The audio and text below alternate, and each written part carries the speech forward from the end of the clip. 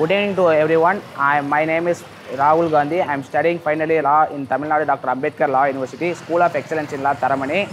During my college times, I got an, a wonderful opportunity with the help of Eco Environment Foundation to start a new business of selling 25 varieties of kulfis.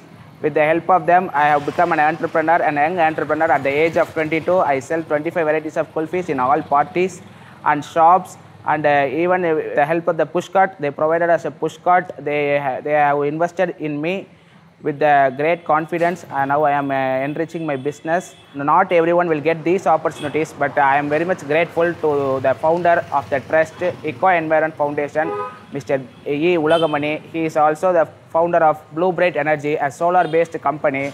They are expertise in all kinds of solar and its uh, aligned uh, activities uh, such as industrial, commercial, and households, and they also provide solar free solar lights and lamps to the tribal peoples in Kollimalai Hills and uh, in uh, Sirumalai Hills at Dindigul districts.